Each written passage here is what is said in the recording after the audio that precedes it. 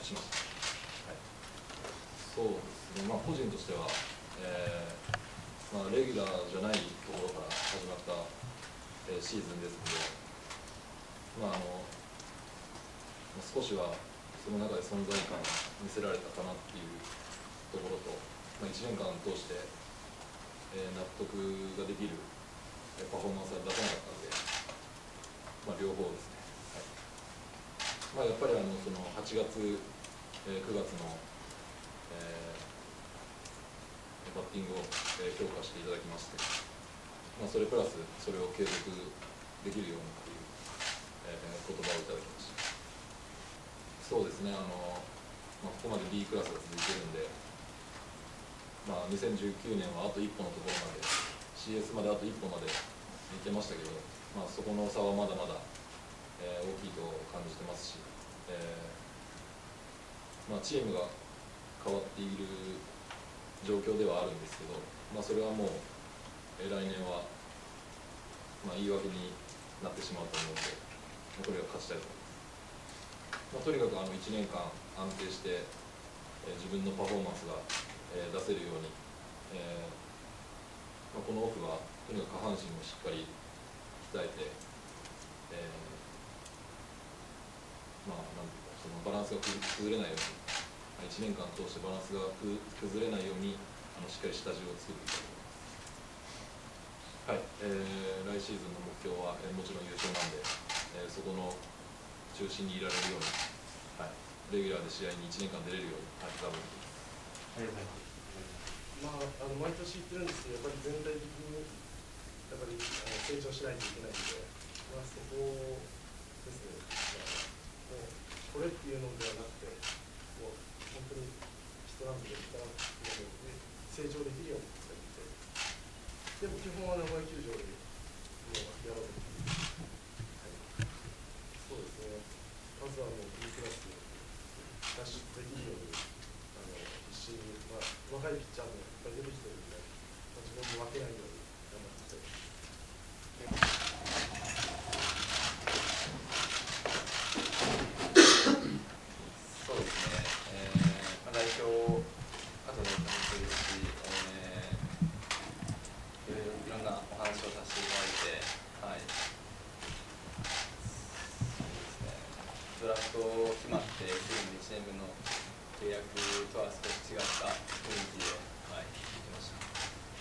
なので、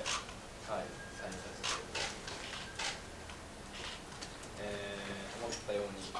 えー、いかなかった悔しいシーズンでしたし、えー、またこの1年っていうのを、えー、2年目の、えー、1年間に続けられるように、えー、この1年間踏まえてしっかり準備してやっていきたいなと思います。そうですね、まあ、フィジカルのところで、えー、怪我もありましたし、えー、一番大事なスタートの点で怪我をしてしまったんで、えー、まあ、来年に向けてまだ秋春、え秋冬春っていうふうに時間はあるわけなので、えそこでしっかり準備をしてえー、今年1年通して感じたことを、えー、また来年にぶつけていけるように、はい、やっていきたいと思います。ですねやっぱり足腰、まあ、やっぱりフィジカルなところになるんですけど、えーまあ、そこが、えー、なかなか思ったように、はい、できなくて、まあ、トレーニングも積み重ねながら、えー、技術練習もしてはいたんですけどやっぱり実践を続けていく中で、えー、そういう基礎練習っていうのを数、えー、打ち込んでいくっていうのはなかなか、えー、厳しかったので、えー、やりながら試合をやらせてもらった感じだったのでなかなかうん、まあ、試合をしながら、えー、変えていくっていうようなシーズンでしたのでうんぱりやり込みすぎっていうのができなかったのがやっぱり自分の中では後悔でしたしやっぱり試合をやっていくシーズンの中ではやっぱり試合でやっぱり結果を残さないといけないなとは感じたので、まあ、もっと、うん、自分で何かこれってこうつかめるような技術はこれからかなというふうに思ってます。えーまあ、内野特にショートに、えー、特に限ってこのシーズンは出出させていただいたんですけれど、えーまあ、外野で、もっといパフォーマンスができるんじゃないかっていうことであったり、えー、さらに外野に行って、えー、その動きから内野にもう一度戻ってっていう、えー、そういう考え方もできるので、え自分にとってはプラスでしかない取り組みでしたし、えー、まあ、いろいろ、うん、教えていただけることはたくさんありましたし自分から聞けることもたくさんあったので、はい。まあ、外野の練習をして、えー、すごいいい経験というか勉強になりましたもちろん結果も求めますし、えーま、この秋のキャンプまた今シーズンからこのフェニックスキャンプっていうふうに続けてきたことをやっぱり継続していく1ヶ月になると思うので、まあ、とにかくまず一番は怪我をしないことっていうのが自分の中ではあるので、えー、しっかり体作りをした上で、はい、結果も求めていきたいなと思います。あそうですね曖昧ではあるんですけど、ま名古屋で、えー、しっかりトレーニングを積んだり、えー、少し違う場所に行っていろんな刺激を入れたいなというような考えもあるのでまだ相談中なので、はい、具体的には言えないんですけど、えーまあ、不甲斐ない1年になってしまったので、えー、来シーズンまた2年後の3年のシーズンに向けて、えーまあ、巻き返すというか取り返すような1年にしたいと思います。少し細かい話にはなってしまうんですがやっぱりステップというか、えー、そうですね。やっぱり外野の方がゴールまでの詰める距離というか